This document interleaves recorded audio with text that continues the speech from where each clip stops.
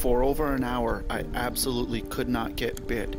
The other passengers on the boat had probably landed about 30 fish by this time. It was frustrating.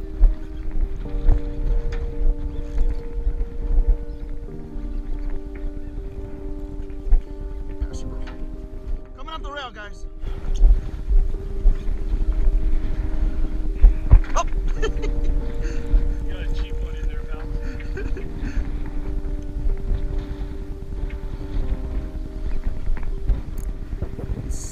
This was about two minutes into it, and this fish was hell bent on busting me off on that anchor rope.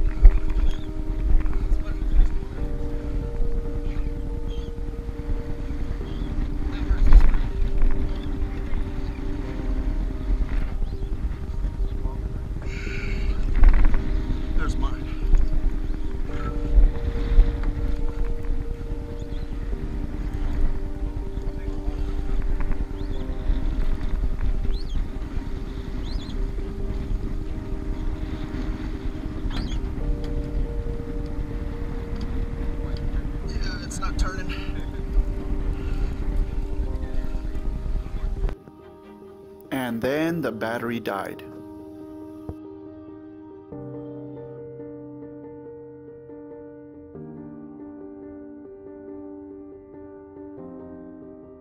Erp.